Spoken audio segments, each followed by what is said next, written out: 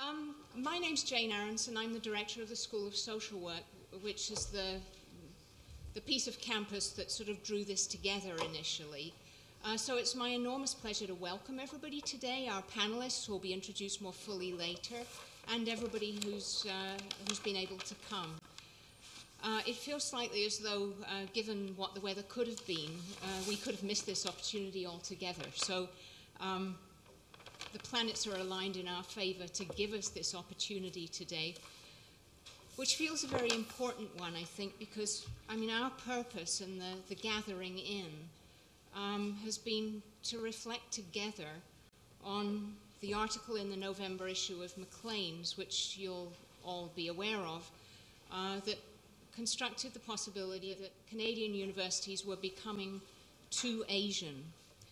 And having the opportunity together uh, here to think about what that signified, to think about the public discussions that got prompted after it, to think about the media discussions that followed, feels tremendously important. Also, to think about the alliances and the solidarities that sprung in that process um, that, that, that, it sparked, and the, the, the ideas they may give us for the future for that kind of solidarity building.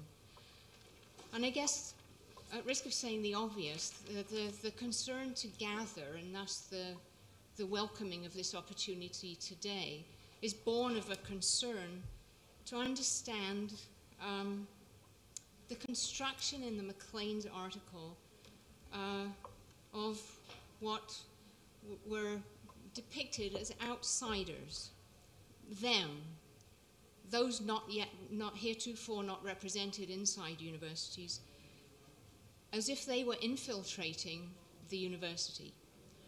And the university, by implication in that depiction, was characterized as a sort of unchanging institution uh, made up of, naturally, of, of something called us, um, who belong here.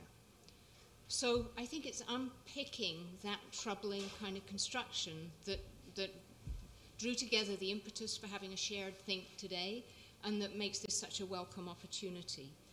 Um, and to help us do that, we've got a really rich array of panelists who, as I say, will get introduced more fully in a moment, um, but who bring to us expertise from and experience from journalism, from community development, from anti-racist practice, uh, from academia. All those things need not be mutually exclusive, of course.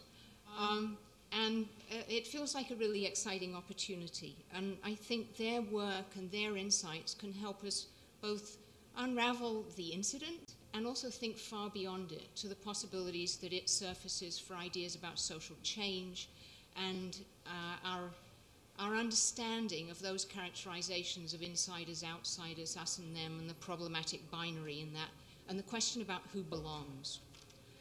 Um, as plans for today took shape, um, it was really sort of exciting uh, to see inside the university uh, the, what, the apparent appetite for having a place to have this conversation.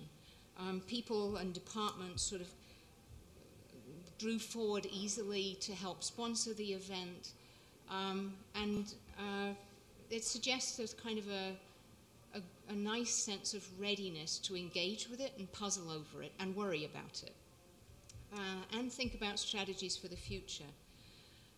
And so that comment about the, the excitement of seeing the interest brings me to some thanks that I'd like to make before we set off as well.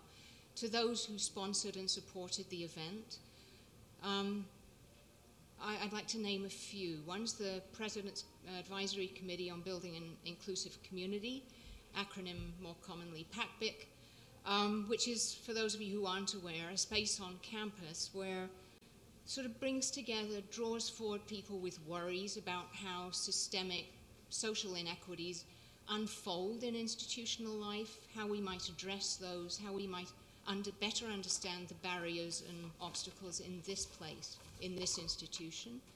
Um, the staff of the Office of Human Rights and Equity Services sort of staffs that committee's work. And I particularly like to thank Vilma Rossi from, the from that office for her support and advice in the logistics of today, and also Michelle Poirier. Um, another big thank you goes to the L.R. Wilson Institute for Canadian History, who very generously shared their resources uh, to make parts of today possible, and in particular to bring Jeet Heer to, uh, to campus today, um, aligning with an event of their own. And then there were uh, some other, um, also much valued al- alongsiders in the enterprise, if you like, the Departments of in- English and Cultural Studies, Department of Communication Studies and Multimedia, the Graduate Program in Gender Studies and Feminist Research, all lent either practical or moral or network or material or filthy money support. Um, thanks to all of them. And I'd also like to take this opportunity to thank the, the working group inside the School of Social Work who brought this together as well.